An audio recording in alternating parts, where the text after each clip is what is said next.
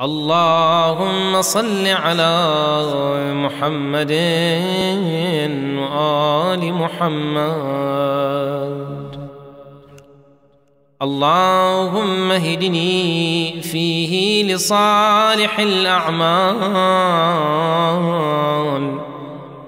واقض لي فيه الحوائج والآمال